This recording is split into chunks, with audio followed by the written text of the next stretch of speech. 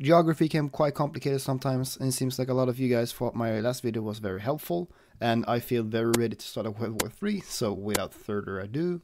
East of the Third Reich, uh, I mean Germany, we, we have the Russian enclave Poland. To their south we have um, Czech, Czechoslovakia, which is probably the easiest country to spell.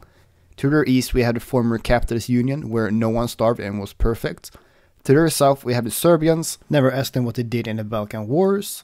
And to the Serbians west, we have the country of Kosovo. Down to the south, we have the Republic of South Macedonia. And finally, to the most European country, we have Greece. And lastly, to the north, we have Kazakhstan. Silly little me, I forgot something in the last video, and that is, of course, some of the microstates of the European Union. Here, in the middle of the city of Rome, we have Romania. Uh, Romania, Rome, I mean, pretty logical if you ask me. About my last video, I feel like I have to apologize to this comment. Uh, I mean, he is in fact correct. He said, The British government has no right in Ireland, never had any right in Ireland, and never will have any right in Ireland. Uh, honestly, that's my bad. Uh, that's my that's that's on me, totally on me. Wait a minute. That's interesting.